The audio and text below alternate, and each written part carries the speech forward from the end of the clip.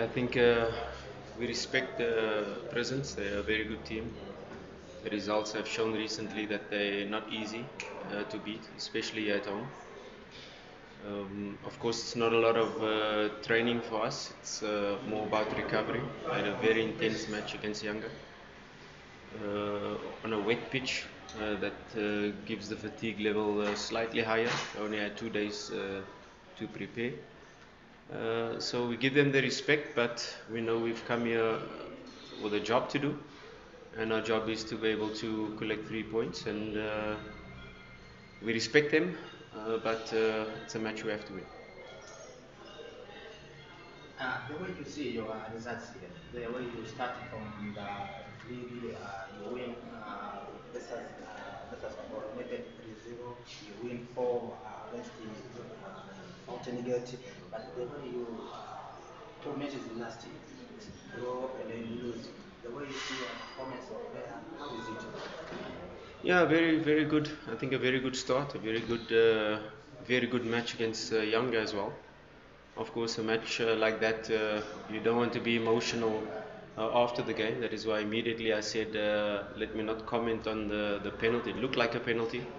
But of course, uh, uh, if you review it and you look back at it, uh, you can clearly see that it's two penalties that should have been given. It's two yellow cards that could have resulted in second yellow cards. And of course, you think about solution based. What do you do? It's no use crying over the last result. But the league definitely needs VAR. I think it definitely will improve the league, it will improve the standards of uh, decisions and crucial decisions in, in, in crucial matches uh, that can decide outcomes. Uh, so definitely uh, uh, Tanzanian football needs uh, VAR. I'm not um, talking down on the referees, but it's normal. And other parts of Africa, other parts of Europe have already started implementing and will definitely improve the game. Good front four. Um, sometimes playing with two strikers, sometimes with one. They're very flexible in their formation. Now they start the game with a certain formation and immediately in the game suddenly changing. So they're quite flexible in terms of how they set up. Uh, they've been quite successful in the in the last match and how they've changed their system and probably uh, it's something that you've got to look into. Um, but yes, it's a, it's a game we, we give them the respect. They've got a good coach, got uh, good players, especially in the upfront part, and we'll be ready for. We've analyzed them in detail. We know which areas we want to use. We know which areas we have to uh, close, not to give them the space, not to give them the situation that they can come into our half, into our box. Uh, and once we do that, uh, close their spaces and, and dominate the game and play the game where we want to play it, uh, we have a bigger chance of not allowing them any shots at goal and a bigger chance of scoring.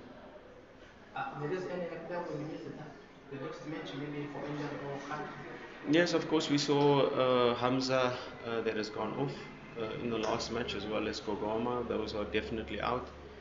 Uh, the other players we will uh, check. Of course, is uh, we haven't trained yet. It was just recovery yesterday, and today we have a match day minus one session. We will be able to see which players are ready. So it's only one comes. I said Kagoma and Hamza that came off in the last match, so they are both uh, out of the match. Coach, I've been talking about uh, having VAR in Tanzania. Uh, we know that this is uh, a fixed best league in Africa. How does it affect your team and the league itself?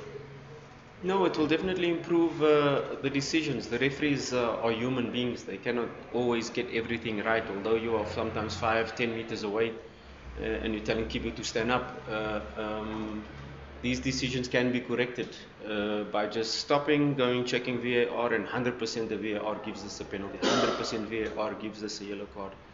Um, so we know that uh, we've seen it in other uh, leagues. We've seen it in Morocco last season uh, and the season before with, with VAR correcting, deciding crucial moments in the last minute. Sometimes it's the pressure of the fans where referee, uh, uh, sometimes the referee has his biases in terms of certain players thinking that he's diving, but when you review it, you can see it's clearly fouled. And these things will improve uh, getting more decisions right than wrong. So it's not about uh, stamping on the referees. Everyone is human, but uh, VAR will definitely uh, fix all decisions in relation to getting more right than wrong. Uh. No, we, we, we definitely not this season, but you know, me, I'd like I like to see the development of football. And the development of football, you might not get it now, you might get it next season.